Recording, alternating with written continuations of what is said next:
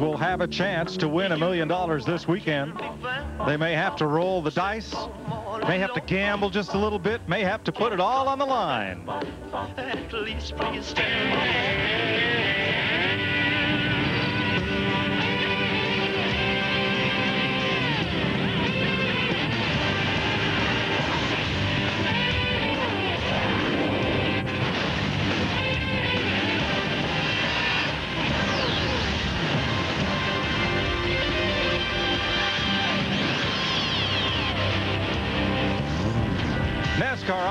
Fox welcomes you to Las Vegas on Fox Sports Net. Today, Bud Pole qualifying for Sunday's UAW Daimler Chrysler 400. Everybody's a legend in Las Vegas. Baby, if I made you mad. Well, at least for a minute or two. May end up with yourself on the side of a car or up here in the booth singing along. Hi, everybody, and welcome to Las Vegas. I mean, I love it out here, baby. Mike Joy with Larry McReynolds and, and Darrell Waltrip. Are your pockets jingling? Are you, are you ready to go? Liz, you got to be lucky but it don't hurt to be good too. No, and that's uh, that's kind of goes in racing, you know, lucky and good, now, especially out here. Out here, gamblers depend a lot on momentum. Is this a momentum racetrack? Well, it, it's it's a track that you got to have both. It's a compromise racetrack. Got to have a race car to go down this straightaway from the middle of turns three and four to the middle of one and two, get a lot of speed. So you don't want a lot of drag, but you got to have enough downforce to get through the corners. The thing about this racetrack is my a quarter of an inch low here might help you. Quarter of an inch low at Rockingham, well, that's debatable. Larry, it's only the third race of the season, but how important is this weekend to these teams? It's very important. You know, ever since the 2001 season ended, all we heard over the winter was Daytona, Daytona, Daytona. But what I learned this morning walking through that garage area, I mean, this is a prestigious race. It pays almost $5 million purse aside from the Winston Million. It pays over $60,000 just to start this race. Teams, over half of these 44 teams that's attempting to qualify for this race, tested out here the month of January. Over a third of the teams built brand new cars to chase this race. Man. This is big. This is serious, isn't it? Might be appearing nightly down here on the strip somewhere if you win this one. Well, now, speaking of serious, we got a little unfinished business from last Sunday at Rockingham. Matt Kenseth won the race. The race ended under caution. He got to victory lane. He did a little celebrating, and then it was inspection time. Oops. Ruh-roh. Dick Berggren uh-oh, it's one thing to win it, it's another to get through NASCAR's inspection, and Kenseth's car did not make it through. Problem was right here, about 10 inches back from the windshield. They measure the height of the roof, and the height of the roof was too low by just a tad, about a quarter of an inch. That was a $30,000 fine as a result. Not the first time it happened. Jerry Nadeau's car was fined a similar amount of money at Daytona last July. Earnhardt Jr. got into the same situation. Talk to the crew chiefs, and to a man, they will all tell you nobody's trying to cheat with this stuff, but what does happen is the springs take a set, the shocks get a little hot, tires wear a little bit. What to do about it? For Sunday's race, some of the crews are going to start with their cars a little bit higher than legal. Let them sink down so they make it through the inspection at the end of it. To Matt Yocum. Well, Dick, 23-year-old Kurt Busch is hoping to follow in the footsteps of Tony Stewart and Dale Earnhardt Jr., two drivers who had stellar sophomore seasons. He's already climbed from 31st in corner points, where he ended last season, to third as he enters his home track here in Las Vegas. He did test here, and guess what? He was fastest during the practice session today. This team, odds-on favorite to possibly pick up the pole here, but more importantly, he's looking to play a million-dollar spoiler on Sunday with five other drivers going for that No Bull $5 million bonus. But it seemed like a million dollars to him because it would be his first career Winston Cup victory. And he's got Jimmy Fennig as his crew chief and Sean Parker as his car chief.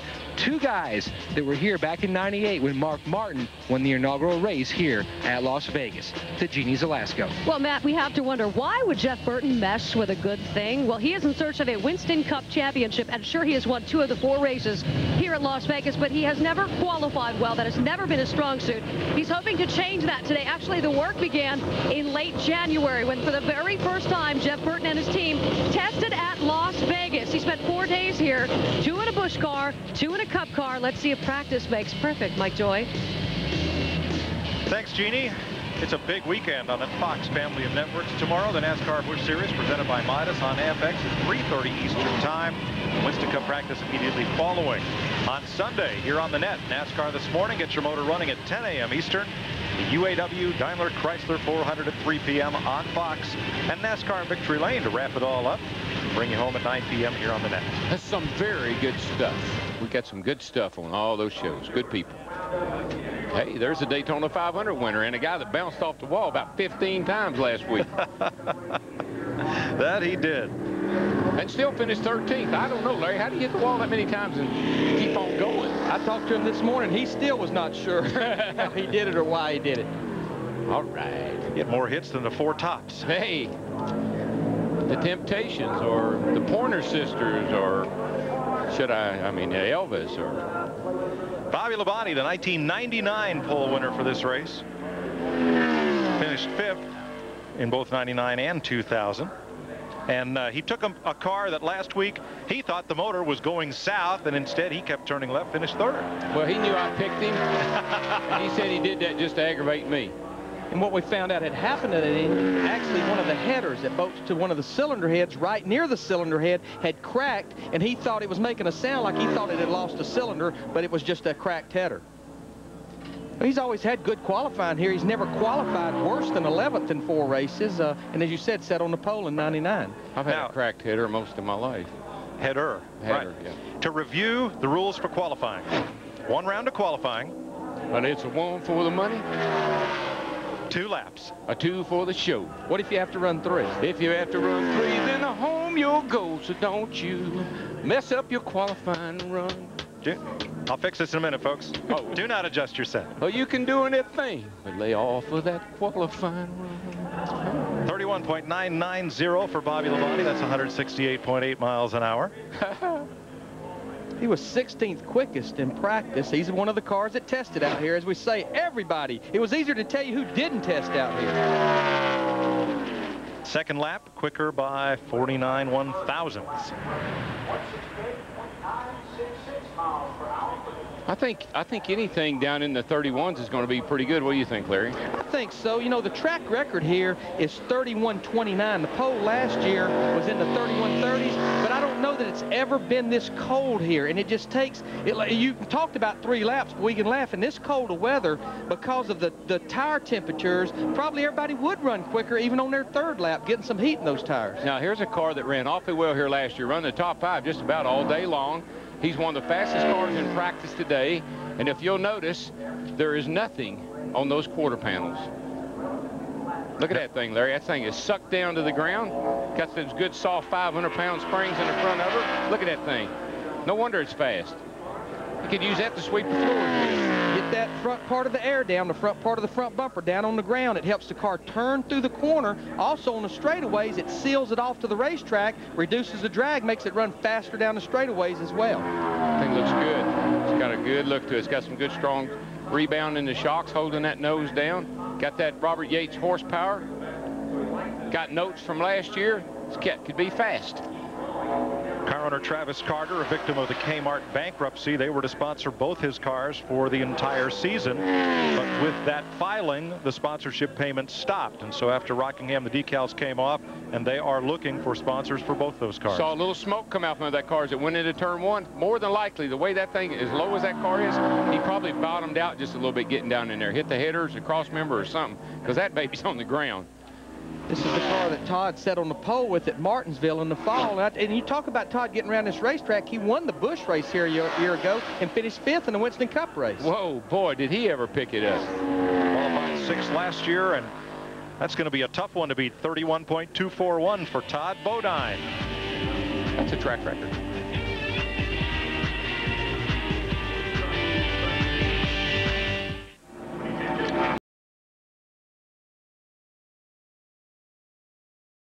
Welcome back to Las Vegas, where Mike Skinner, who qualified fifth in 2000, I uh, took a provisional last year. Now he's with the Morgan McClure team, and he is second fastest of the three drivers that have run. Todd Bodine, Mike Skinner, Bobby Labonte. This is Derek Cope, who made one start last year at Kansas, finishing 24th. Again, uh, Todd Bodine, uh, that is a track record in Atlanta. Yes, it is. Yeah, yes, it is by about a half a tenth. Yeah, and that's that's an amazing time. Uh, to put that number up there, I just uh, they, that's a lot quicker than anybody went in practice by about what? By about two and a half tenths. Two and a half tenths. So that's a pretty amazing number. Yes, it is. That's like lay that number up and say there. Yeah, have that now. I'd uh, I'd be really surprised if anybody beat that. Derek Cope, the 1990 Daytona 500 winner. You'll see his fourth right now. Holds there.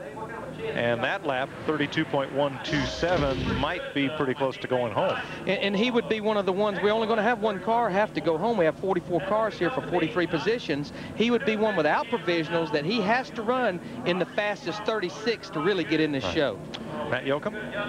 Well, Michael caught up with Bobby Labonte, currently third. Uh, how much of that racetrack did you use up, Bob? Uh, a lot more than I wanted to. Uh, just, you know, uh, turn one and two. Two's been my worst corner, corner all day, it seemed like. So just used up a lot of racetrack. Probably too slow in the center of the corner. A little loose off forward. All adds up to a slow lap. Bobby Labonte normally qualifies well here, a first, a fourth, and a seventh in his last three starts here at Vegas. Hut Stricklin and the Bill Davis Dodge teammate to Ward Burton, the Daytona 500 winner. And we'll put in our uh, Fox tracks. The red pointer shows that he is right now slower than the current pole sitter. And you see the running lap time just above it. If uh, he was faster than the present pole sitter, that pointer would be green. There's a look at the interval between Stricklin and Todd Bodine and the lap time. Might give me one of them little, if I was driving, I'd have me one of those little deals. I'd have it on my dash. and what would you do about it? I'd just start telling them right away what was wrong with the car. Car's pushing. Second fastest for Hut Stricklin. Oh, that's a big, that's a big jump for those guys. There's a company that makes a system like that, uh, Darrell, for road racing, and you have a bar graph to the left to center, you're quicker than your last lap. To the right of center, you're slower. It's, it's called predictive lap timing. If you look at it too much, it'll get you in trouble. no kidding. Hut's one of the teams that tested out here, and I don't think something that we've documented enough, even though this car has a new number and a new look, this is the other Bill Davis car that is a teammate to Daytona 500 winner Ward Burton. And doesn't it, in fact, have car owner points from the 93 car? Yes, it does. Even though it has a right. different number, it still has those car owner points. So the Calera, Alabama driver moves to second behind Todd Bodine, ahead of Mike Skinner, Bobby Labonte, and Derek Cope.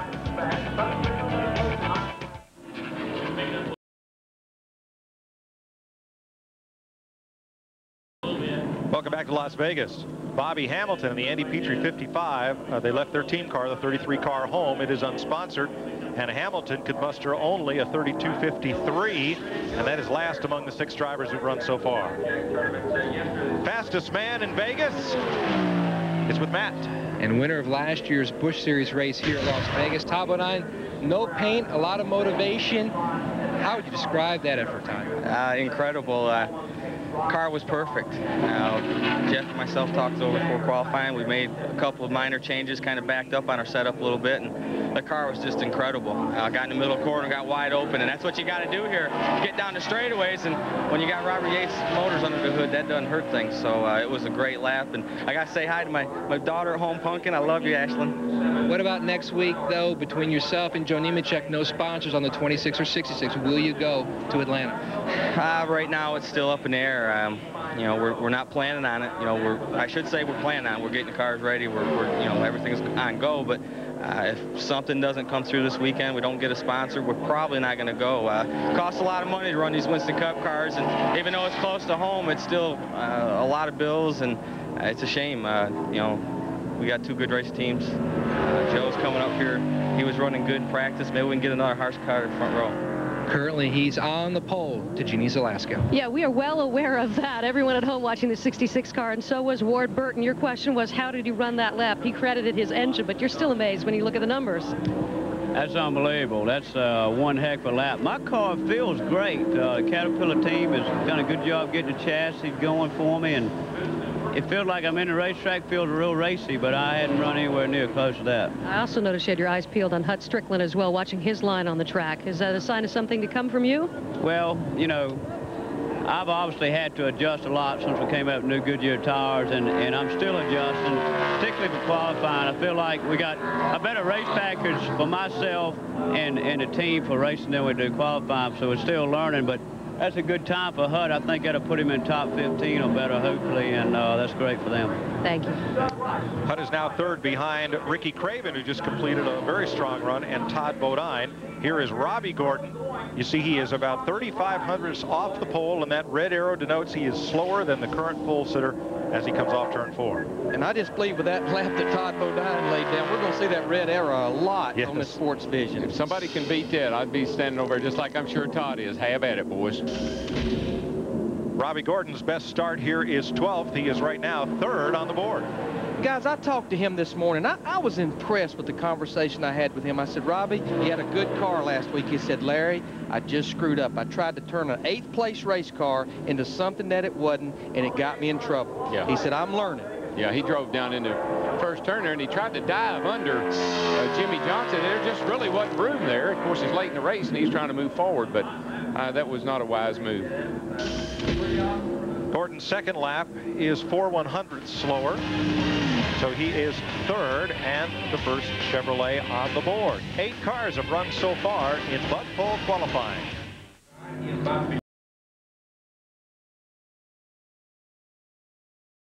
Brett Bodine has picked up another one race sponsor, but he still needs help to get past this race. Actually, his run is pretty strong. Fourth fastest, 31.676. This week on ACC Sunday Night Hoops, the conference crown comes down to this. In the final game at Cole Fieldhouse, number two Maryland looks to win its first regular season title in 20 years.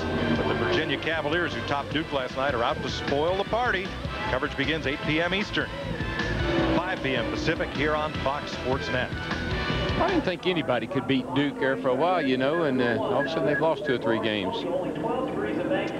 Talk about beating somebody. I don't know why. You know, we, we've always made fun of racetracks that ought to be renamed. When you look at Mark Martin here at Las Vegas, it ought to be named almost Mark Vegas. Besides winning the 98 inaugural event, he has four top 10 finishes here, and he has completed all 949 laps and has an average finish of five, fifth. Yeah. If you look at the nose of his car, Larry, though, com compared to the 66 car that's on the pole, Mark's nose is up. And that's going to hurt performance just a little bit. And I don't think Mark's still not real happy with his cars. Still got some work to do, he feels. He climbs from fourth.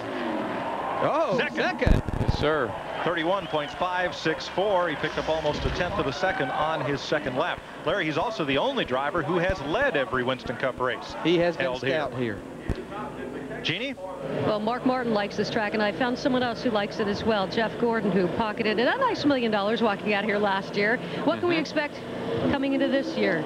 Ninth fastest in practice this morning. What are you looking for qualifying? Well, we got a strong car. We did start off practice really good, but a lot of guys caught up to us towards the end of practice. Um, you know, I don't know if we got anything for the pole, but uh, we've got a really good car, so we're going to get what we can get out of it. But, you know, we won this race starting like 24th last year.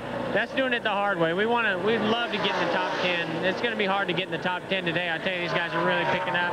I think the wind, now that it's died down, is changing things a lot. So, I don't know, maybe the track's picked up a little bit. I'm looking forward to going out there and giving it a try. Yeah, temperatures, well, much warmer. Matt Yocum? Jeannie, Ricky Craven off to a great start, currently sixth in points. The bad news, you just got bumped to third. The good news, you picked up four tenths in your lap. Where'd you find that?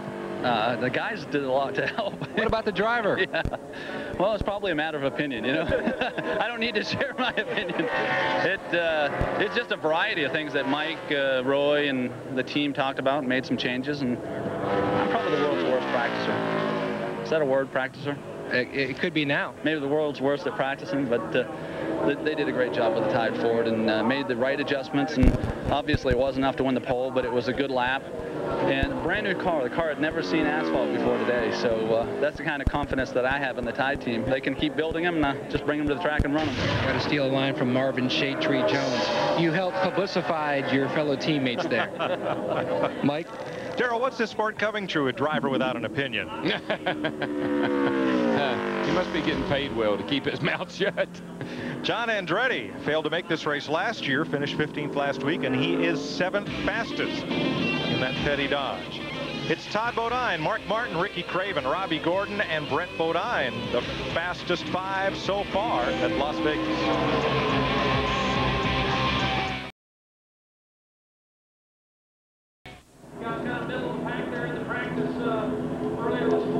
Buckshot Jones picked up some time on his second lap, and he is currently sixth fastest behind Todd Bodine, Mark Martin, Ricky Craven, Robbie Gordon, and Brett Bodine. And let me correct on John Andretti. He did not qualify among the 36 positions that were taken by time for last year's race. He did start the race on a provision. Jimmie Johnson, who's already in the Bud Shootout for 2003, pole sitter for the Daytona 500 as a rookie. Car looks tight, Mike. He's coming off turn four there, and you could tell front end was actually chattering a little bit with him. Looked like he was shoving out toward the wall.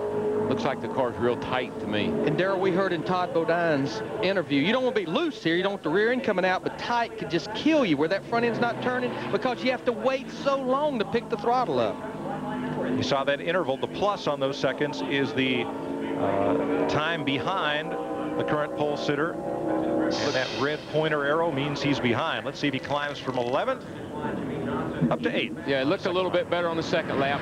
Probably the tires came in, air pressure built up. He was sliding that nose on the first lap, but that looked a little better on the second one. Picked up two-tenths of a second.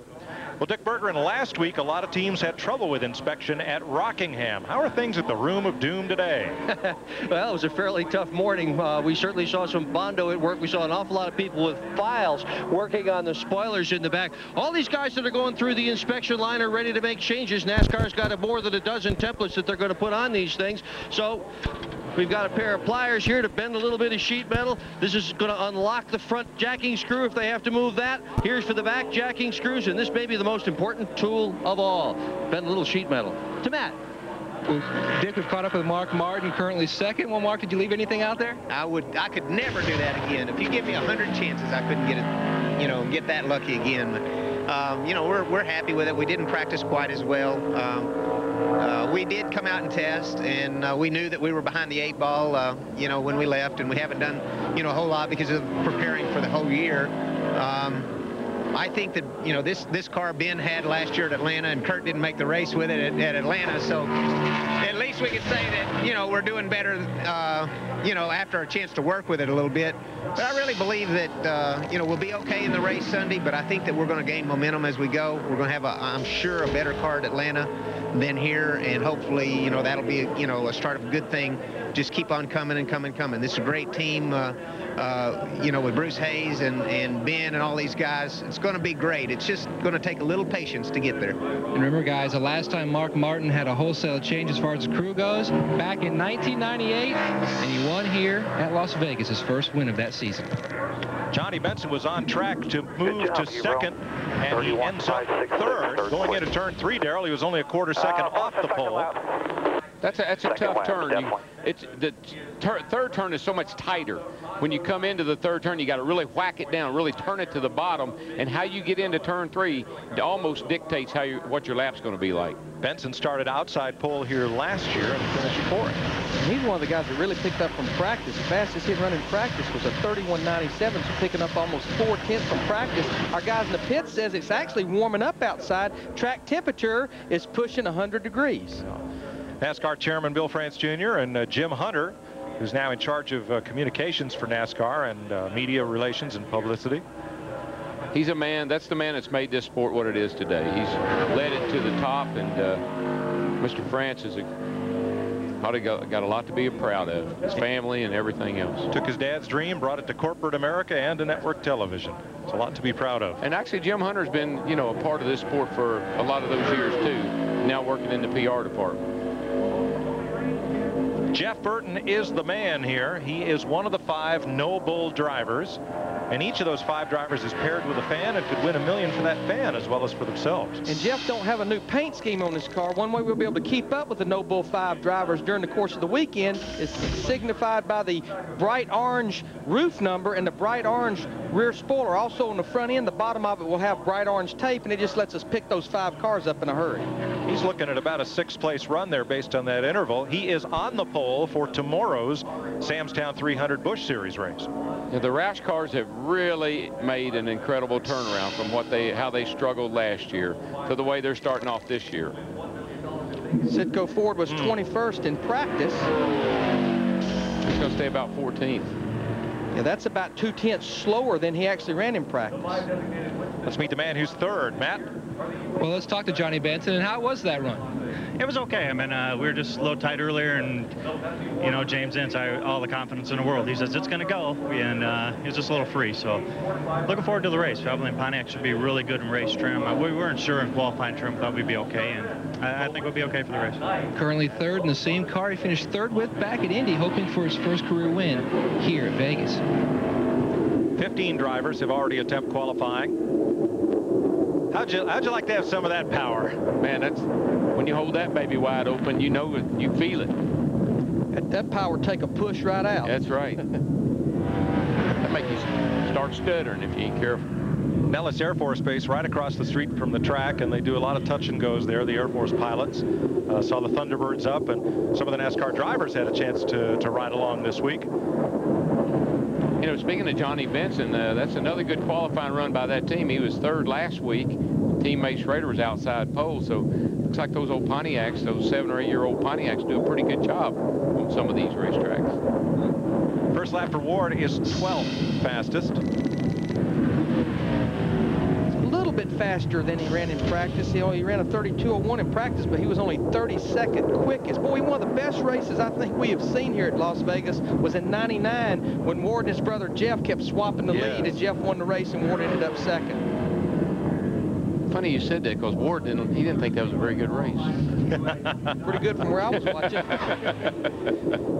You know, it's funny how Las Vegas affects folks, uh, drivers included. Let's see where Ward moves. No move, 12th place. Through the center, I mean, it was loose off there, but we're just At losing too much Rockingham. speed in the center. Just something's going on in the center. We're losing a couple mile an hour. You can see it clear as day now. Jimmy Spencer is watching this.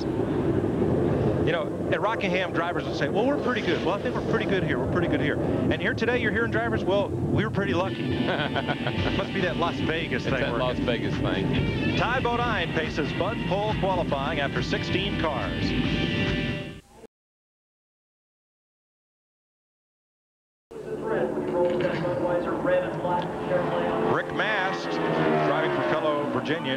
Donlevy, the Duke's Mayonnaise Ford there. 16th quickest, 166.282, 16th out of 17 drivers. Ricky Rudd signs an autograph. Dale Jarrett, who's had one of those quick Fords in practice, comes out, but the man on track, Dale Earnhardt Jr., started third here two years ago, and his first lap is 14th quickest. He's into the 32s just barely. I told Dale, Jarrett, I said, you know, those brown to the bone ads might be all right, but I like them better when you're in them. You need to get in there somewhere. Be patient. He was 15th quickest in practice at a 31.86. Now, I'm going to go back and talk about Todd Bodine again, his pole run. Darrell, what even makes that more impressive is we know he's on a much harder tire than the track record was set on. And this is actually the same tire that was ran at Rockingham last week. Yeah, you know, I'm sure if you'd asked anybody coming here with all the testing and everything that was done, if we were going to break the track record, they'd have said, you got to be kidding. Nobody's going to get even close. So it's pretty amazing. Earnhardt Jr. falls off uh, about a tenth on that second lap, so he will be 14th for now as Jeff Gordon comes out. You know what I noticed walking around Daytona that I thought was pretty neat is all the fans wearing those red number eight jackets all have their caps on backwards. they, everyone, I could not find one of them wearing a cap with the bill pointed forward. That is our audience, young man. That's okay with me. It's okay with me. Jeannie? That is our audience, and this is a man who has won a pole here. Ricky Rudd, you know what it takes. You've been watching the times here today. What, what's your thoughts?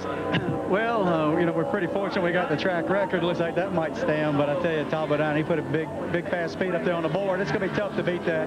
We've been a little off in practice. Uh, we've made a lot of changes before qualifying, so we're going to know, uh, I guess, in about uh, 15 minutes what we got. Saw you putting heads together here with Michael McSwain. Concerns because of the temperature change? Are you making any uh, mental changes or physical changes here?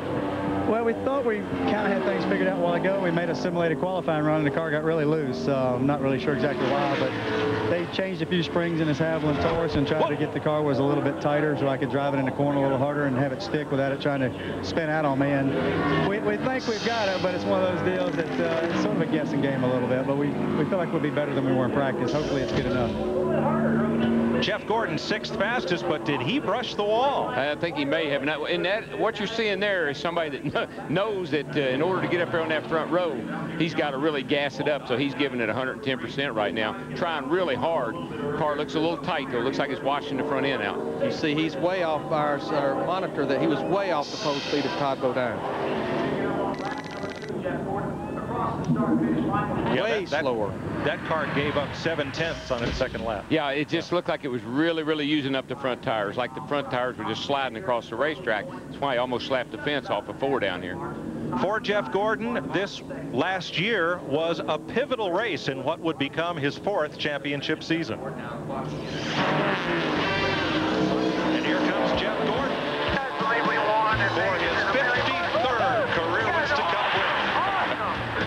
Oh yeah, you know, and and we pulled into Victory Lane, shaking our heads, going, "Wait a minute, you know, this is Vegas." I mean, that really, I think, is was was the biggest morale booster we could have had for our team. I think that moment, you know, kind of set us into a different category to say we're championship caliber here. We can do this, we can accomplish anything.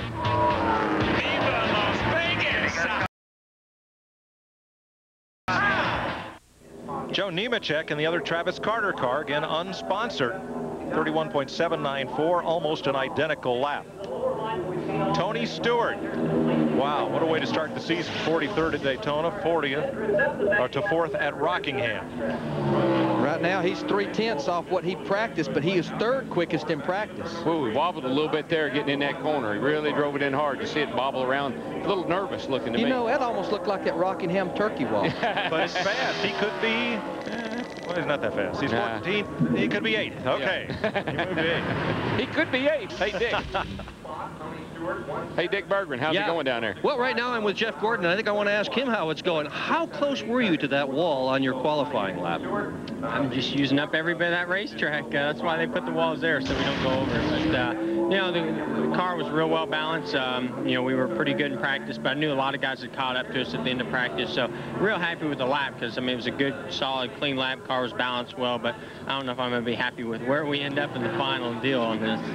Uh, We've seen you do this before, come very close to the wall. We've seen you on more than one occasion, on several, in fact, bounce it off the wall. Given that this is your race car for the race itself, how much you sticking your neck out in these qualifying runs? Oh, you stick it out there. I mean, you know, just like these guys put everything into the setup and everything into the engine to get as much out of it as we possibly can, I got to do the same. They put a lot of hard work in there. I got to, you know, get everything I can out of it. And, uh, you know, qualifying is so important, especially in a place like Las Vegas, that you really need to get a good, solid run up there and get as good a starting position as you can. So far, so good. Thanks.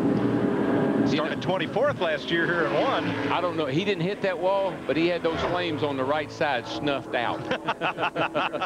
they were hiding. They were pulling up inside.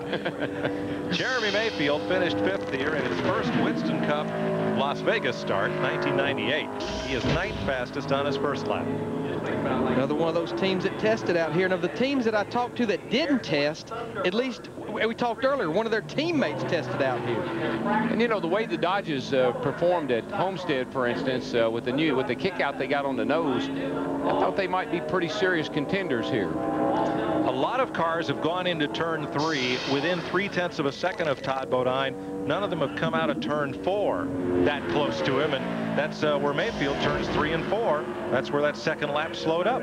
But Darrell, this is such a mark-sensitive racetrack. It's almost like you just got to hit the timing just perfect, turning down into turn three. Let that car take, take a set, pick that throttle up just right. You got to jump back in it if you want to go fast. That's not something the drivers don't like to do, but you got to jump back in it and hold it wide open. There's last week's winner, Matt Kenseth. Katie, let's meet the hometown hero, Jeanne. Absolutely, and uh, feeling the need for speed, Kurt Busch, before you got in the car? You jumped in an F-16. I heard you pulled nine Gs twice, and he didn't get sick? Had to do it again because the first time we only did 8.9. I needed that fancy little button that went up and said that we did 9Gs. Just an awesome thrill to go with the Thunderbirds, to have the invite. I think it's a little bit of psych that got me going this fast on this car. Everything's so, so much in slow-mo. We'll give it a shot today. So what can we expect from the qualifying run here? That was an awesome lap by Bodine. If that lap's up there, whoever wants to go for it, have at it. We're going to shoot for it. We'll see what we get on that first lap. Nobody has come within three-tenths of a second of Todd Bodine. That's how strong a lap that was as Sterling Marlin rolls out. And I, I, again, if, if I was over in the garage and I was watching this show on TV, I would know how he did. I would understand how he did it. His car was sucked down to the racetrack all the way around.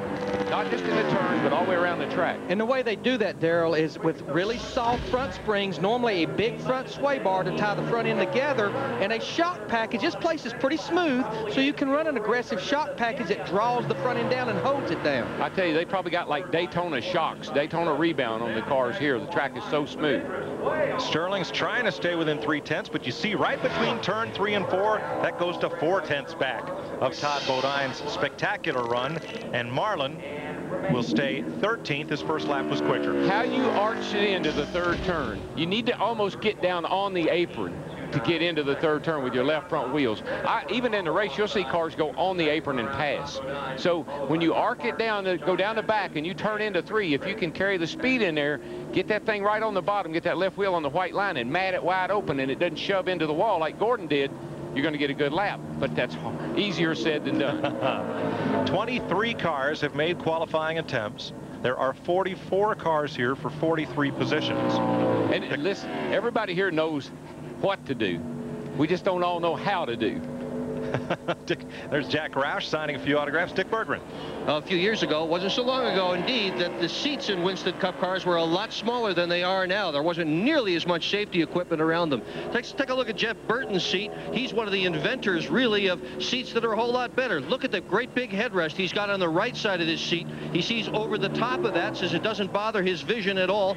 Nice headrest on the left side. Gallo remembers when they didn't have headrests at all. Shoulder supports, both sides of this seat.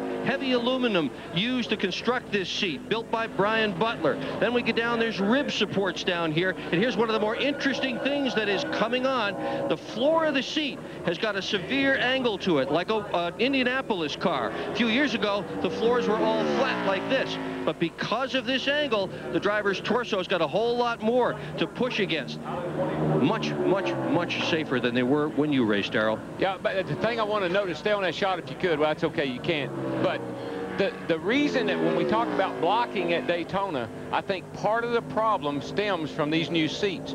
The driver has lost almost all of his peripheral vision. And they have to run the little mirror on the left side now to give them any kind of view down the left side of the car. But I think that's part of the problem that we got into at Daytona when people were complaining about blocking and we never heard it so uh, severely in the past. Casey Atwood, second lap is quicker, but he is 23rd of 24 drivers that have run. There are those big headrests on both sides, and there's the little side view mirror. That's a little mirror. It doesn't take much. Serves a big purpose, though. You bet. Todd Bodine paces Bud Pole qualifying at Las Vegas.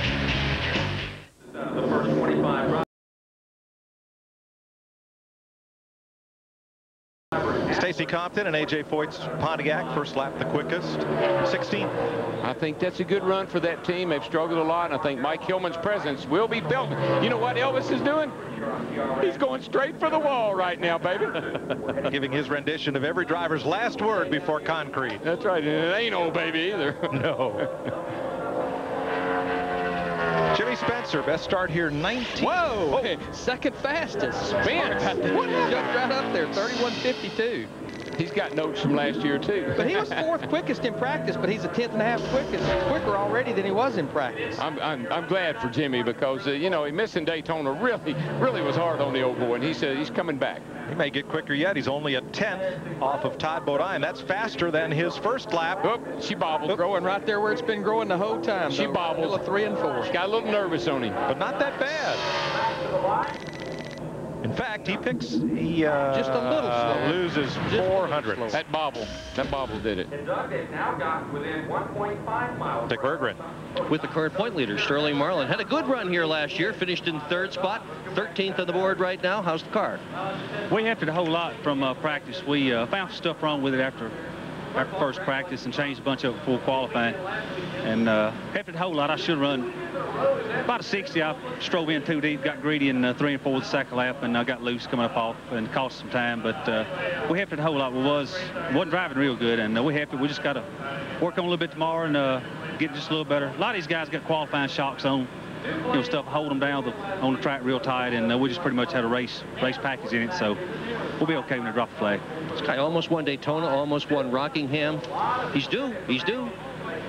See if his luck changes here in Las Vegas. His luck's been pretty good. I mean, you're Hey. the point leader. That's He's lucky That's and right. good right now. I asked him this morning. I said, "We've all driven cars, you know. They've been, we've been good one week. We miss it, you know. Next week we can't hardly make make the race." I said, "Why is this car last year and starting this year so consistent?" And uh, he just said, "It's it's not just any one thing." He said, "I've got the best engines I've ever had." He likes his crew chief, Lee McCall, right there. He said, "We communicate well, and they get the car like I want it every week, and I'm able to race well." To get that consistency. Watch out.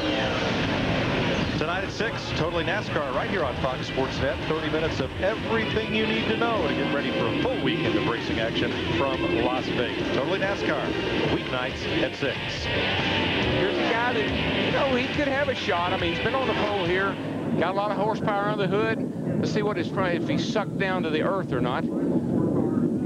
Looks like a not, gap there. Not like that 66 car, Todd, no doubt. He's never qualified worse than ninth. This team actually had quite the adventure getting ready for Las Vegas. They came out here and tested in January, went back home, built a new car. This is a brand new car they didn't test, went to the wind tunnel, came home from the wind tunnel, and actually cut it up again before coming here. But they struggled in practice. He was only 38th quickest in practice. Car's way too tight. He can't keep it on the bottom. He was sliding the front end up off the He was up there in no man's yeah, land, too. Here he comes.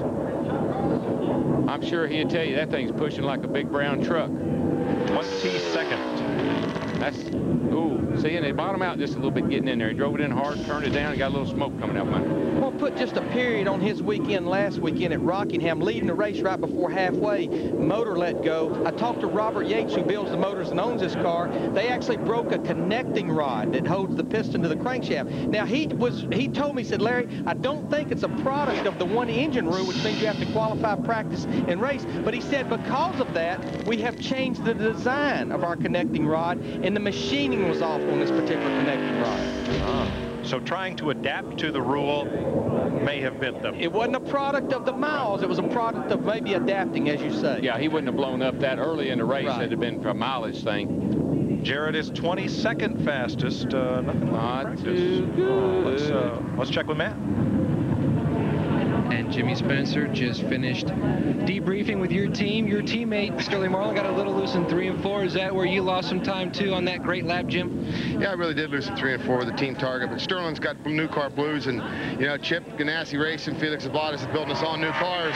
Can't ask for nothing better than that. But we were fortunate enough to test out here, and Sterling was testing Texas, so you know uh, he'll get that car a lot better. He's leading these points, and we're going to try to help him all we can this year. And you know, Team Target, we're, we're building as a team. There's no question. There's a lot of new guys in this organization, and I'm new to them, and we're getting stronger every race. You know, and uh, made a decent run last week at Rockingham. We're looking forward to Sunday here in uh, beautiful Las Vegas. This is going to be great, though, for the confidence of the team and also to try to maybe start some momentum here having a run like this.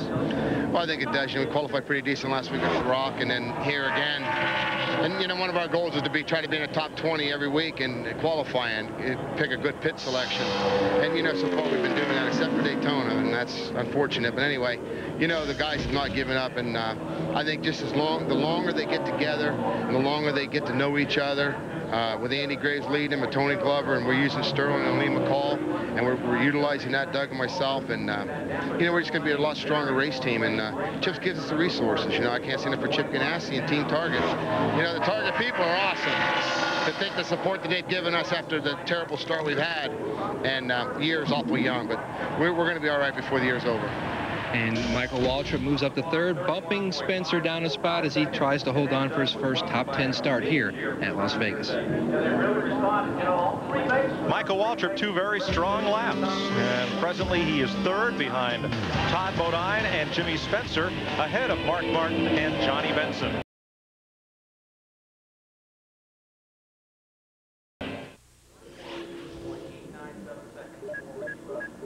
Ricky Rudd's second lap is much quicker.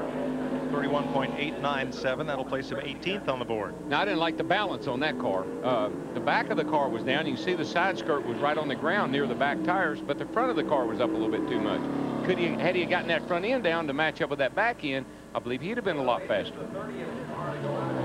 Let's check with Jeanne with another of those fast Ford drivers. And we're talking a lot about teams today as well. The 12-car Ryan Newman and the 2-car Rusty Wallace. And Newman came out here and tested, and I read that you said you just took his notes and you pretty much just set your car up that way. Is that what we can expect well, before yeah. you? I took his setup and just put it in my car, uh, and we'll see what happens. It was good this morning. I liked the way he handled it. I thought he did a good job getting the car set up.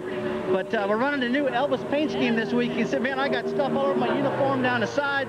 I'm all excited about it. Uh, uh, impression you want to share? Well, well, maybe a favorite Elvis song? Favorite song, Blue Suede Shoes? No, I don't know.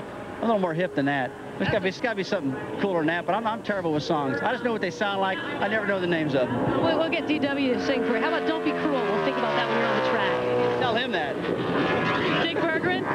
I'm with Dale Jarrett, who won the pole for this event last year. He also won the pole in 1998, but no smile today. What's wrong with the car, Dale? Well, I guess if I knew that, we'd fix it. Not to be a smart aleck, but uh, yeah, we don't know. Uh, this is a brand new race car, uh, not the car we came out here and tested with, but you know, we felt like that we'd built a better race car than what we had here testing, and uh, we just, I'm, I'm, not sure exactly where the speed of these guys have changed everything uh, on it, uh, and Doug and them even changed engines to see if it was possibly that. So we don't know what we're missing it yet, but uh, we'll have to find out tomorrow. Thank you. We appreciate it. Not everybody who has a bad qualifying run wants to talk about it afterwards, so we do appreciate it. To Matty. Dick, Michael Waltrip certainly wants to talk about his effort. You nearly bumped your buddy Spencer off the front row. well, we were trying. Uh, Spencer and I both have real big feet, and this is a track where if you got big feet and you get your car working right, your crew get your car working right, you can lay in the gas. And what a great driving car. Uh, both my Aaron Chevy, the one uh, that we're running on the Busch race tomorrow, and this Cup car. Slugger and Bobby Kennedy just worked so well together, and they made our Napa Auto, that Napa Auto Parts Chevrolet felt just like the other one. So I'm happy. I like this track and um, just looking forward to racing. Hello, Buffy. Sorry you're not here. I'll see you when I get home. Now, no turkey walking, but what size are those Nikes? They're uh, 14. 14? Yeah. My goodness.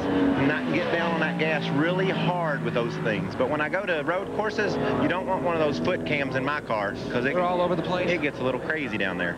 My goodness. They, uh, those things have to be special ordered. Those things are so big. Well, I got them from John Salley. He and I are working some things together, flipping a few things, watching on TV.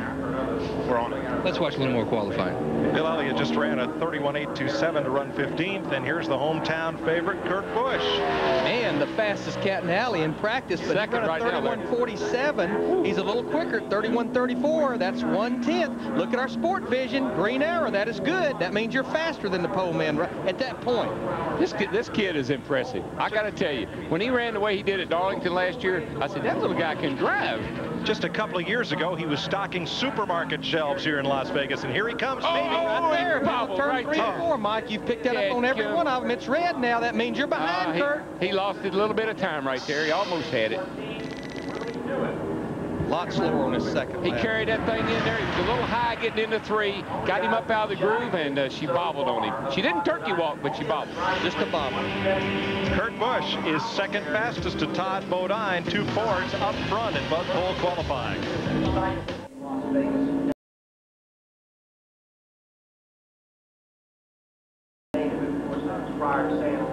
Terry Labonte is the 32nd car to take time, but he ends up 29th, 32.353. Matt?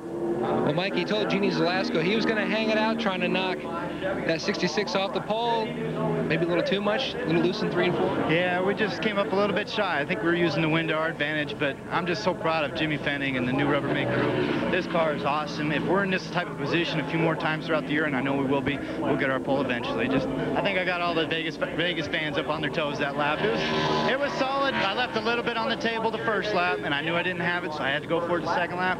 Just got into three a bit too hard. The wind changed directions. I think I was using the wind to my advantage earlier. Well, the big money is on Sunday, looking to give Jack Roush, Mike, his eighth win here at Vegas. And his younger brother, Kyle, just 16, is going to run the ASA series this year. So Yeah, I think Bit of that's a good driving thing. talent, that He wanted to run the truck series, and then NASCAR made the rule you got to be 18 or older to drive in the uh, touring series. Series, and I think the ASA is a beautiful training ground for young drivers like him. Jerry Nadeau, 12th on his first lap. Nadeau used Formula Opel in Europe as his training ground, ran a few NASCAR modified races. Came down to Charlotte, North Carolina, worked his way into a team, into a ride, and he posts the 12th fastest time. A little slower on his second lap. Another one of the teams built a brand new race car, tested out here for two days in January. I want to clear one thing up on something that Dale Jarrett said in his interview about changing motors before qualifying. Just so the fans understand the rule. Before qualifying, you can change the motor, whether you have a failure or whether you just don't feel like the motor's performing. But once you qualify that engine, that's your engine for the rest of the weekend. But it's, it's some of the guys who tell me, "So this is ridiculous. They need to do something because now they're overhauling the engines in the car. You can't take the short block out, but they can change everything on top then. So now they're changing valve springs, rocker arms, intake manifolds, carburetors, headers. They're Well, changing everything. It's a work in progress. It is. They need a practice engine, just like the race engine. Don't run the race engine until you get ready to go racing. There's a guy that can step on the gas, I guarantee you. I don't know how big his feet are, but I know how big his arms are. This, this kid is strong right here. Rusty is faster than Todd Bodine. That's the green arrow. And there is the differential. Can he hold it? Be close. Gonna be. Oh, in it turn red. You got close.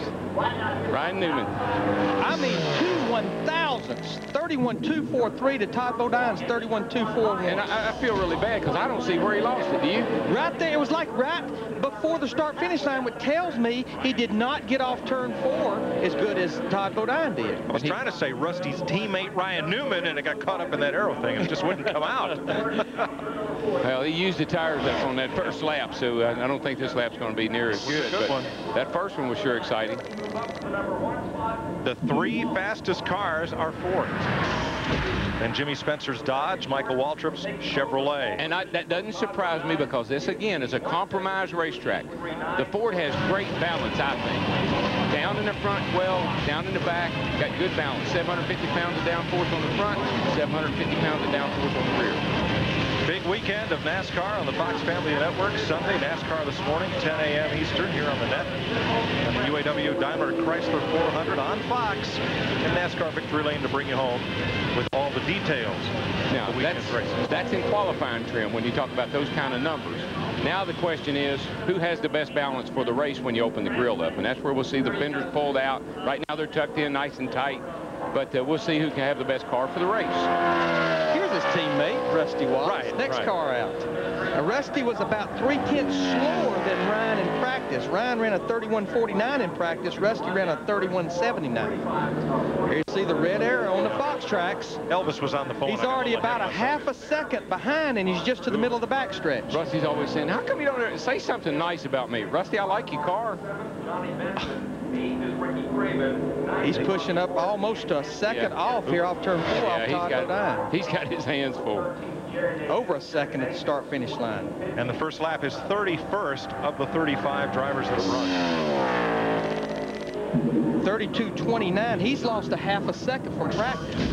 And, and I tell you, and Larry knows this too, maybe the tires that they put on the car, maybe a little difference in the balance of the, of the, uh, or the air pressure in the car, in the tires, has caused the car not to handle like he thought it was going to, because it looks like it's just shoving up in the middle of the corner. So he's not even using up all the racetrack. He's not, he's not getting out against the wall. Whoa, Picked up a little bit, but not near enough. Still end up 31st quickest. No fun in the city tonight.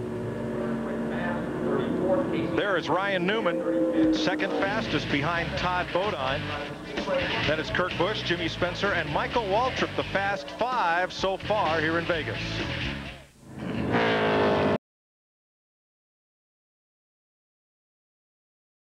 Look at Blaney. That's pretty good. Todd Bodine paces qualifying. 36 of 44 drivers have made attempts. Bobby Hamilton is on the hot seat as Dave Blaney has completed a run that is ninth fastest. Good run. Real good run for Dave Blaney. This car ran awfully well at Chicago last year with Robert Pressley at the wheel. Similar racetrack. Matt, how's Ryan? What's going on with uh, Ryan down there? DW is a little bit disappointed about being in the green, then losing that green off of four. but a sharp contrast to last year here, Ryan. Yeah, 35th last year in qualifying, and so far second right now is really great. Shows how much these guys been working. I think the guys back at the shop, I know they're really working really hard. Uh, I got a little, little wide. They're coming off of four on the first lap, and I, I was wide enough that I couldn't get back in the throttle the way I wanted to, and I, I knew the wall was coming, so I figured it's better put a good lap in here and see how it goes. And we were 2,000 short, but I, I, I know that Todd Bodine owed that to me because at uh, Darlington last year in a Busch race, I think I outqualified him by like two or four thousandths or something. So I think if you figure the math up, it's probably about four inches at start-finish line. At EW, he told me his qualifying package was very good, and guess what? He said his race package that he tested here was very good as well. Yeah, I, I like Ryan Newman. Uh, he, he listens to, the veterans. He and I did a Wendy's commercial together, and he listened very well. What did he listen to? I told him to get the combo, and he told me he did. Kevin Harvick, 29th quickest, matches his car owner, uh, car number, qualified 20th, finished 8th here last year. This is going to bump Bobby Hamilton out of the top 36. We've had 37 cars qualify. Bobby uh, at the bottom of the pile right now. He, probably, he should have a provisional, though. Harvick moves up to 24. Jeanne? While we're listening to veterans on that subject, we'll go to Kenny Schrader right now. It's a good day to be a Ford. What do you see for your Pontiac? Our little Pontiac was uh, pretty good in practice. We need to be a little bit better, but uh, boy, they're putting some times up there. But they picked up a lot, and there's no reason to think we're not going to also. Think it's a weather condition or just uh, adjustments people made after the practice? It's it's a little bit of both. I mean, obviously, uh, I don't think it's all weather because it was pretty cool when we started this morning. When we started practice this morning, that flag was out straight. It was 45 mile an hour gust of winds. We lost a camera off a platform. Oh, I hope the guys in LA know about that. They do now. It looked like a solid flag this morning. Sure did. But the track temperature has stayed the same pretty much throughout the qualifying session, still at 98 degrees. But when they had the two-hour practice session this morning, it's much warmer. And as we just saw, the, the, the wind has definitely died down. I told Hammond one time, and he said, what's wrong? I said, man, the wind's blowing me all over the place. You got to do something about the wind. He said, look, Walter, I can do a lot of things, but I can't do nothing about the wind. Jeff Burton on the pole tomorrow for the NASCAR Busch Series presented by Midas. Here is a former Busch Series champ who will be in that race as well. Jeff Green, who was fourth fastest in practice. He is 26th on this first lap. Yikes. You'd like to say if uh, you were going out about now, well, the track slowed down, but then Ryan Newman just barely missed the pole, so the track will still hold the speed. You may not have your car adjusted right for the conditions right now, but uh, it's not, I don't think the track slowed down. The inaugural Busch race that was run here in 1997, he actually won the pole and the race that year in the Busch Series. A little bit better. Picks it up quicker. Yeah, a little bit. About a tenth. 19th quickest, 31.816. Todd Bodine watching and waiting. Will his speed for the pole hold up? Do you feel lucky, Todd? Kyle Petty had a strong lap in that Dodge with the left side sucked right down against the racetrack, and he is 10th fastest. Well, let me tell you, there's a car on the track right DW, now. Hey, look, car 17 with flames and a, glow. and a little tick of chrome around uh, those numbers. So he's getting he's getting with the program. Where have I seen that before? Oh, he's getting with the program. Old car's down on the ground on the left side, sucked down there. We'll see how he does. He was eighth quickest in practice. I didn't think that car looked all that good until after last week. You win, you win one week, and here's what happens. Pretty paint job now. Plus, he's in the no bull. Got that orange spoiler on that bad boy. Orange roof number. Terry Labonte is bumped, joining Rick Mast, Casey Atwood, and Bobby Hamilton as Kenseth is 15th fastest. And Elvis is on the hot seat. There's your Fox track showing Matt Kenseth is a tenth of a second off the pole, about a tenth and a half. See how he does right through here. This has been the kind of where everybody loses it. Boy, it moved in a hurry there, over two seconds in turn four. Two tenths of a second. Which just shows that Todd Bodine really got to run up off turn four. Oh, he that- sailed it That's there, where he was beating him. He really Well, he moves up, though, to eighth quickest. It's a good lap.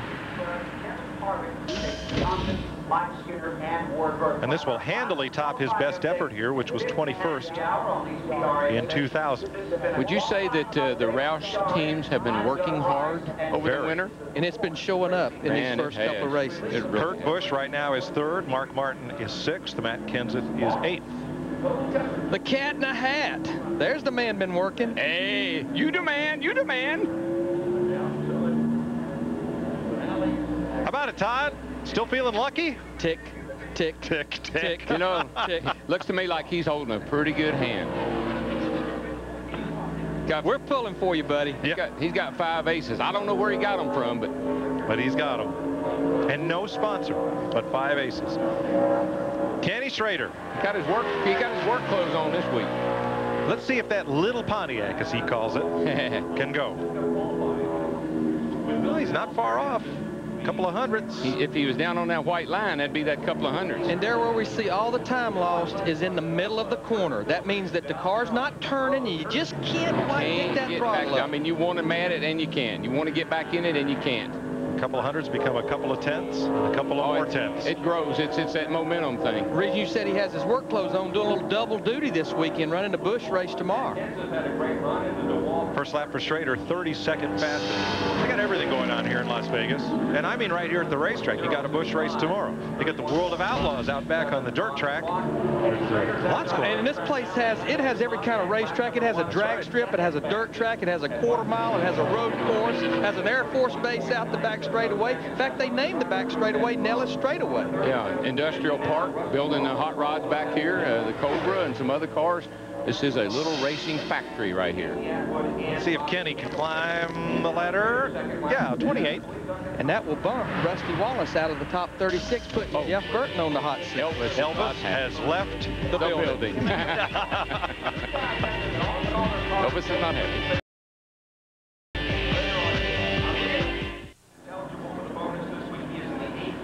Shauna Robinson is in the show. She qualifies 34th with just two cars left to run. She has made it in on time. She bumps Jeff Burton to provisional land and puts Derek Cope on the hot seat. Second race of the season. Now, they didn't uh, elect to compete at Rockingham, made Daytona. Now she's made Las Vegas. She's making all the big races. Oh, I got sunshine on a cloudy day. My girl. Talk Elliott about Sadler. My girl. See how Elliott fares here at the Wood Brothers Ford. He's about three tenths off of Todd Bodine's pole speed. Hey, that's not too bad. No. no, it ain't bad at all. No, but- coming off a turn two, three tenths off of what Todd run. But the odds are getting longer, Darrell. Six tenths. Whoops. That old red arrow, boy, that's going to drive some Seven people tenths. crazy, isn't it?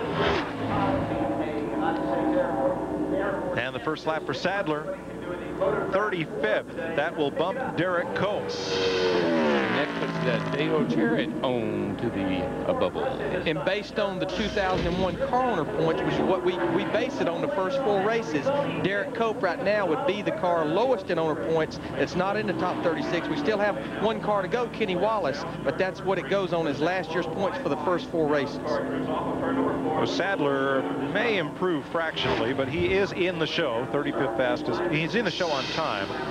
Won't have to depend on a provisional. Jumps up a little bit, 33rd. 31.979. Darrell, you picked a bad week to be a past champion. yeah, I just Look noticed that. Dale Jarrett's on the bubble. You got Rusty Wallace and Terry Labonte back there. Hey, and those guys all got new crew chiefs. They all three started a year with new crew chiefs. Now, don't ask me what that means. I just remembered that and thought I'd It's a that in. common denominator. It's a common. Thank you, Larry. How about that? I tell you, you are the man, Larry. I'm looking after you. Stevie Take Hammond care of of me. told me I have to watch every move you make. Takes care of me. See, that's the good thing about working with a crew chief. They know what drivers are, and they got to watch out. They got to. And Larry says, "Hey, you forgot your bag. Hey, you forgot your pass. Hey, we got to be there at seven o'clock." We'll be all right. Yeah, we will. We're going to make it, guys. I got him up early this morning. Kenny Wallace. Driving for Steve Park, the uh, Earnhardt Incorporated number one. He will be our final qualifier. Dale Jarrett is on the hot seat. A little bit of update. Steve Park and Kenny Wallace tested Atlanta this past week. Talked to Paul Andrews, the crew chief.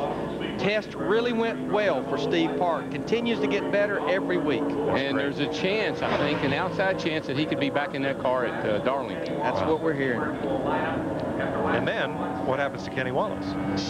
He is employed by DEI for the whole 2002 season, which uh, tells me they will probably run a few selected events with Kenny. In car number 81. And you heard it here first. 17th fastest on his first lap is Wallace. And Dale Jarrett bumped out of the top 36. So you now have three former champions taking provisionals for this race. Shauna Robinson is 36 on the bubble, but it don't matter. There's no more cars. That's it. She made the race. Way to go, Shauna. I tell you, she's still the best female driver I've ever seen. I saw her run ARCA. I've said this before, short tracks with the ARCA cars beating and banging. And hey, Todd. Todd. You're on the pole, Todd. Smile, Todd. you are the Bud Pole winner for the UAW Daimler Chrysler 400. All right. Dick Berggren. Yeah, just a moment ago, and I mean a moment ago, he said, I can smile now. How much pressure were you feeling the last few cars that went out? Well, you, you never know what's going to happen. Uh, you know, Winston Cup is the most competitive form of auto race in the world, and you never know who's going to step up and do it. And Kenny Wallace being the last guy, Herman's a good racer, and he, he can do it, but uh, we needed this. We needed this really bad. Uh, no sponsor, don't know the future of the team, so here we are in the pole. Yeah, it should be a sponsor there. It says it says Todd Bodine instead. So how big a deal is this for you? It's big. Um, you know, I've always run well here at Las Vegas. Won the Busch race last year. I love this racetrack. I love coming out here. And uh, I guess last night I had a bad night at the table, so I used up all my bad luck. And like they said, it must be I got five aces today. Fifth pole of your career, four of them on different kinds of racetracks. How have you come up with such a versatile ability to win these poles? I don't know. Uh, good race cars is the main main key. I mean, you got to have good good stuff under you, and uh, we got a great race team here. The guys work hard. The guys at the shop do a great job, uh, and everything clicks. And and you know, tracks like here at Vegas, uh, Pocono, we had a pole, Martinsville. We've we've really got a good shock package for our qualifying stuff, and you know, we've been struggling a little bit with race package, but uh, we're getting better all the time. With the sponsor off the car, certainly your crew members know that this may be close to the end of their jobs. What are you doing this weekend to keep them pumped up to be able to run through this event and have a great shot of it here at Las Vegas? Well, I tell you, the, the guys have been great. Um, you know, it is hard to, to focus and, and continue doing your job properly, knowing that the future is uncertain, but they've done it. Um, even when the whole thing went down, the guys just kept their heads down digging and working and building good race cars. I mean, uh, I'm proud to, to have this team around me. Are they all still with you? We haven't lost anybody, and uh, everybody at the shop and everybody at the track says that nobody's going anywhere until Travis says to. Okay, pole's one thing, but Sunday's quite another. What are your chances to win this thing on Sunday? Well, we, we finished fifth here last year. We had a good race car. Uh, we came out and tested. Um, I think we've got a decent race set up. Uh, it's a long race. Uh, you got to be consistent through the whole race, and that's one thing that we kind of lacked the last year is is making the proper adjustments throughout the race to get it to the end of the race. And hopefully we've learned from our mistakes and, and we can get it done on Sunday. Hey, congratulations to you on today. We wish you well on Sunday. Mike? Monday, he could be the fellow standing at the bus stop, but today he's got the penthouse suite and the hot hand. And uh, it's a good day to drive a Ford. Look at seven in the seven of the top 10 are Fords for Sunday's race. Yeah, I, I, again, I just think it's a great compromise racetrack, good balance. We'll be back. Lots more to come in Bud Pole qualifying here at the Las Vegas Speedway for the UAW Daimler Chrysler 400.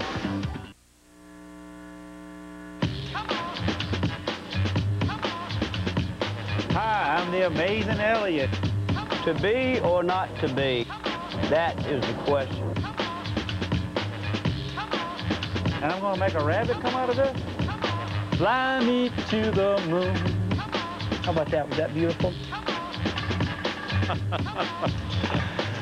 Wait till final practice tomorrow. We've got a we've got a bunch of stars in town. Uh, and people give us a hard time about being crazy. Well, they wait till they see the rest of this crowd. We're the same group. Those We're are the, the nuts that are same running the week. house down there. We're just a part of the house. All right, it'll be 42 men and one lady to take the command on Sunday. Dick? And I think Shauna Robinson has already worn out a Sharpie with all the autographs. And behind our camera, a bunch of race fans with cameras of their own. Big smile. You look like a pretty happy lady. Well, this is our second attempt and our, our second race, so this is exactly what our goals are. And, you know, I just keep everybody on the edge of their seats. I can't seem to, to get past that 30, 36 starting position, but we will. I mean, we didn't test here. If I could have uh, tested and unloaded, we would have, we picked up so much time. And, and I drove that car like it needed to be driven for this qualifying run, and right there on the edge. But I'll tell you, this team is incredible. And Teddy Brown, my crew chief, has been exceptionally well working. The chemistry is there. And with this whole team, the chemistry is there. And this is what I've been searching for my whole career. So if we can just keep making races, we'll learn. And now I get 400 more miles of experience. So I'm excited. Is there still more in that race car for Sunday? Oh, absolutely. I mean, this was just a test for us. Literally, practice was a test session. And then we just had to, we had to find it to get in this race so we could learn more. And without testing. And I ran a West race here last year, but I'll tell you, it's not anything like it. These Cup cars are totally different. You have to completely drive them different. And, and I'm learning I'm racing with 36 of the best drivers in the world. So, I mean, there's nowhere else I'd rather be right now. It is so nice to see your smile. To Maddie. Dick, the jubilation meter's pegged also over here in the 45 garage of Kyle Petty. 11th, and you're not in the position where you can hang it out, so that was a very good lap for you. Yeah, no, we're still at that uh, 42nd or 43rd in points and provisionals and all that stuff. And, uh, you know, it, it, Mike Egge Racing Engines and those guys, you know, they came on board this year. We were better at Daytona. We were better at Rockingham. I think if you look at, at the Sprint car and the Georgia Pacific car and the, the General Mills car, we were all better here. So, uh, and then Robin, you know, obviously we knew Robin was going to help. That goes without saying, but uh, everything's just working really well for us right now. This really has to build some momentum, though, for Kyle Petty and this 45 team. Oh, yeah, it does. This has been a huge stumbling block for us. If you, I've not made this race the last two years. Uh, I've gone home on a truck and uh, or sat out here in the infield and watched it, and uh, that's no fun, you know, coming to Vegas and, and, losing that big. I don't mind losing in Vegas, but I don't like losing that big. So uh, this was a big deal for us. This was a big stumbling block to, to turn us around a little bit. And like I said, uh, along with Mike's engines and with Robin and Steve Allen and all the group here, it's it's big and big for us. So will it be dinner for two tonight or dinner for the crew? It'll be dinner for the entire crew that's inside side of the garage area, the 90 team, any other team that wants to come. It's dinner for everybody. And Steve Lane's paying, so that's okay. Whoa, I hope his credit card has a, a huge limit. Guys? Let's set a few more places for us. Kyle Petty solidly in the show 11th. Robin, you mentioned Robin Pemberton, who moved back to Petty Enterprises from the Rusty Wallace team for this season.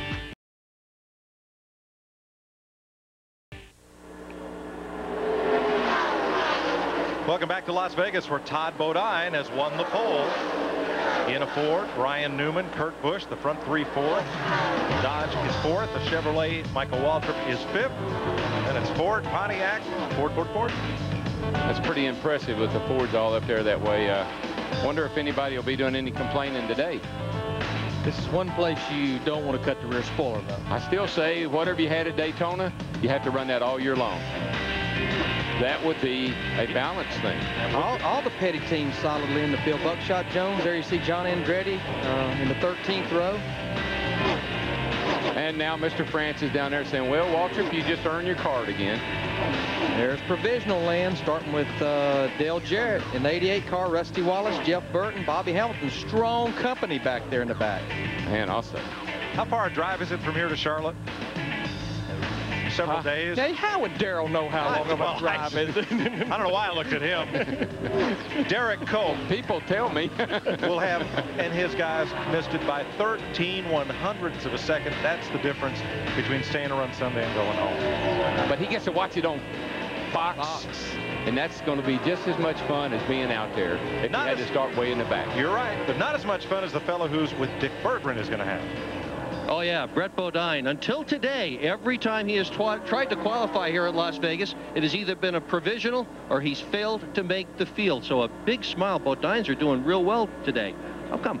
Oh, we had a great run. Uh, Todd came out here and tested, and, uh, you know, he, he had a lot of information for us. And right before qualifying, he came over, and met with Doug Richard and I, and we made some changes and picked up a lot of speed. So a lot of this is due to what Todd told us.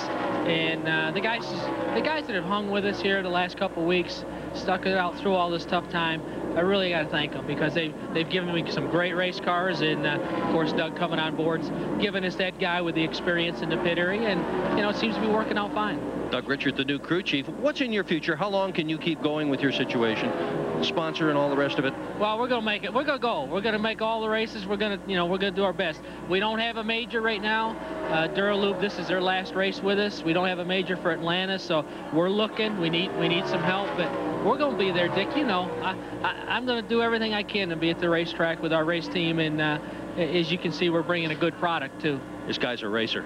Let's go to Jeanne. No drought in the desert for Dave Blaney. A tall glass, or should I say a tall bottle of water. Congratulations. You drink your own stuff or you bottle it yourself, I would imagine? Well, we don't bottle it, but I can drink it. I can handle that. Fair enough. I think water's deserved to celebrate considering some of the frustration you had at the start of this year.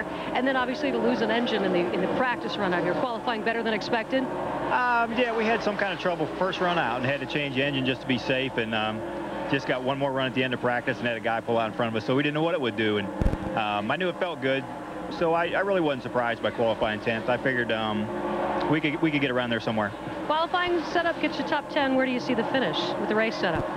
Well, qualifying's uh, maybe a bigger deal here than most places. Um, this track, it's tough to get stuck in the back uh, aerodynamically. It, um, it's tough to pass people when you catch them. So uh, starting up front is a big advantage for Sunday, but uh, you got to do all the right things to stay there.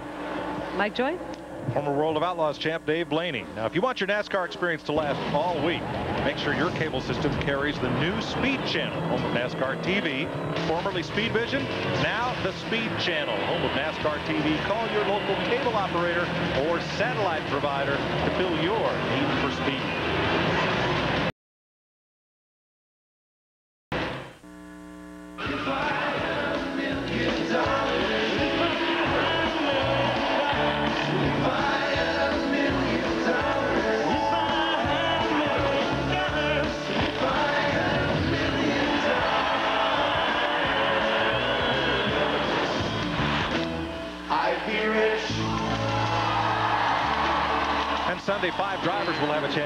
Million dollar bonus, and they're paired with fans who also have a chance for that bonus. And there's where they'll start.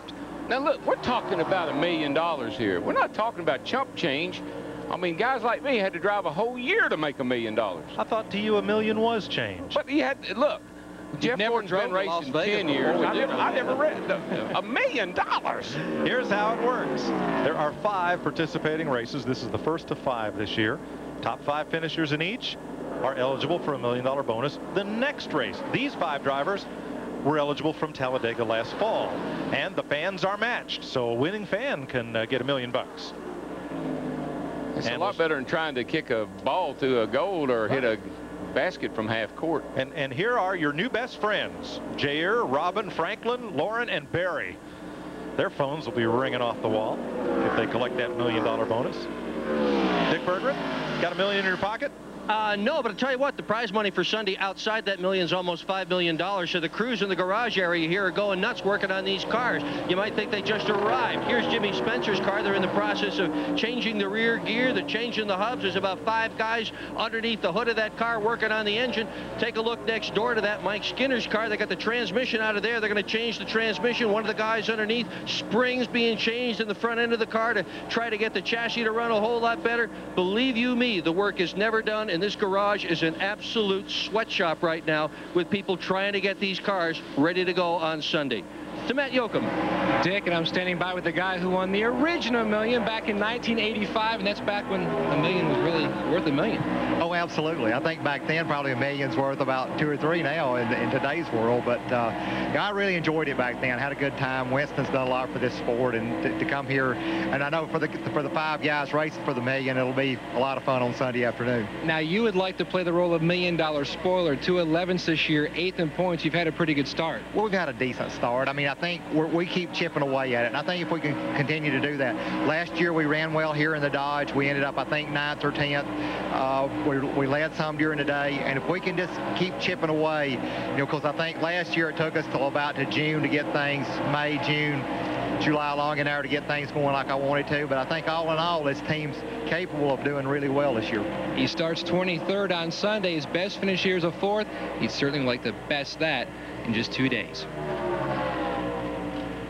Well, let's see. Uh, Going to discard two and, uh, and draw two. Is that what they're doing right here? Well, you know, I want to explain why they would be changing transmissions after qualifying. Normally, you would have a qualifying transmission hooked onto your qualifying motor. It would come out when you change the qualifying motor, but you can't change the qualifying motor. And all these transmissions are four-speed transmissions with a reverse that has to work, I might add. Every gear has to work. But sometimes in a qualifying transmission, they'll maybe just have some of the gears lightened up just a little bit because once you hit high gear when you get on the racetrack, you never have to shift. You come back in. There's no shifting here. So they just put more of a durable transmission in to race. Plus, they put lighter fluid in it, too, so, uh, you Just know. less friction, Yeah, less, less friction.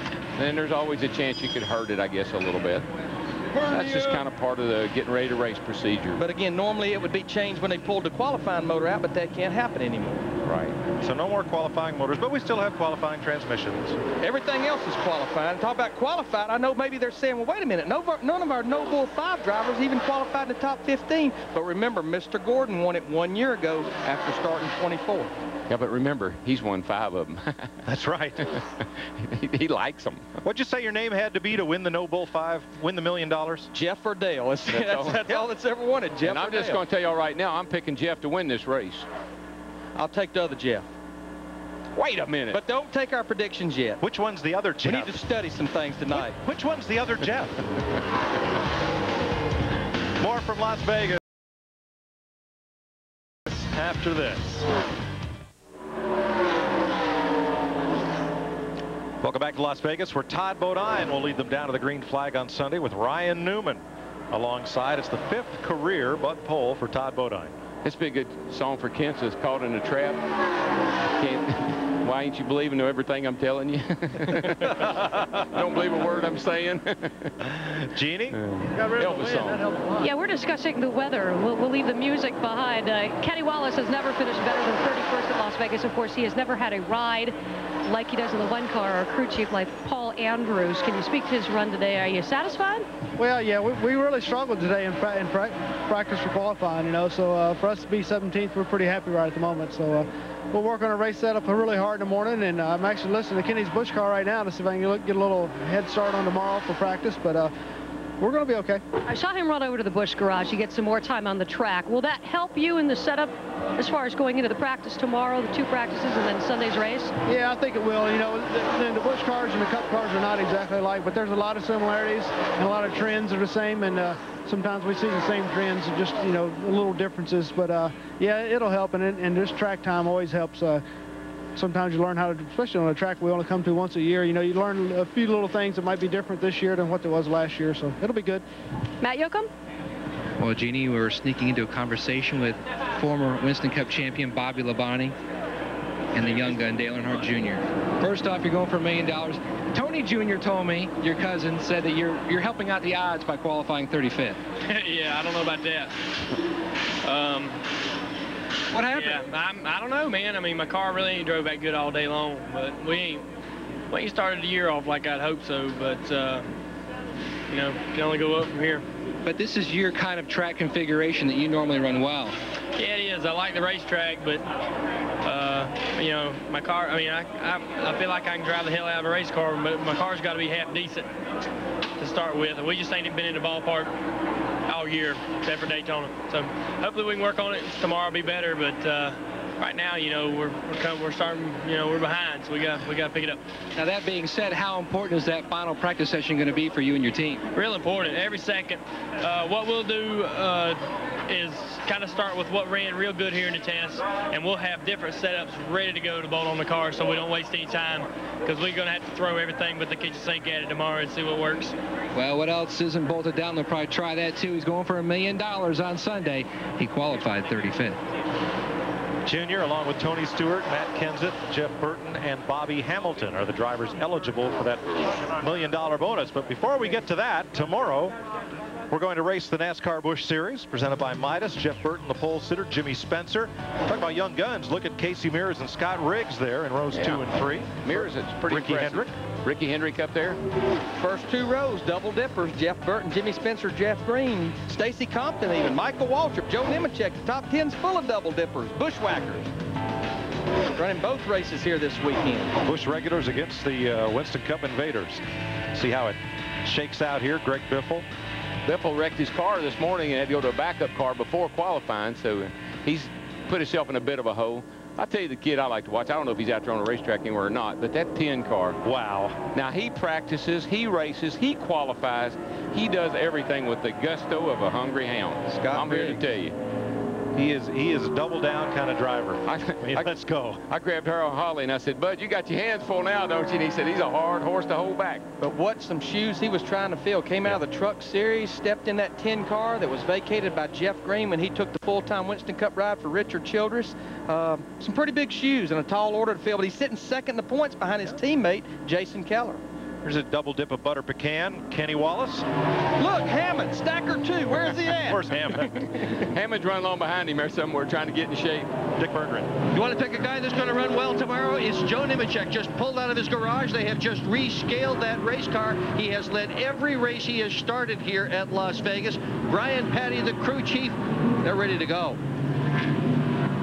Now, they, they, what they probably do is they probably had a lot of uh, nose weight in the car to qualify. In other words, a lot of weight on their front tires.